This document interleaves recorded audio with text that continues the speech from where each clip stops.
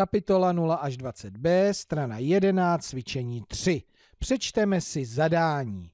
Vymaluj E3, O3, I3 a poté vymaluj podle osy. Nejdříve si najdeme políčka E3, O3, I3, vlastně Y3. Tak, E3. Řádek E, sloupec 3.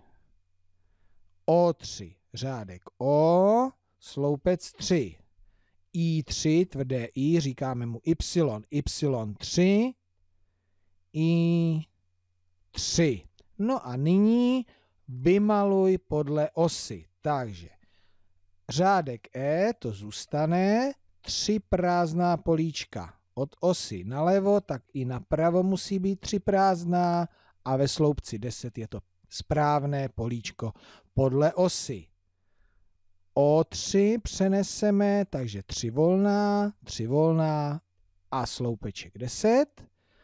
I3, 1, 2, 3 volná, 3 volná. Tak a máme to. Zvládnete to taky tak?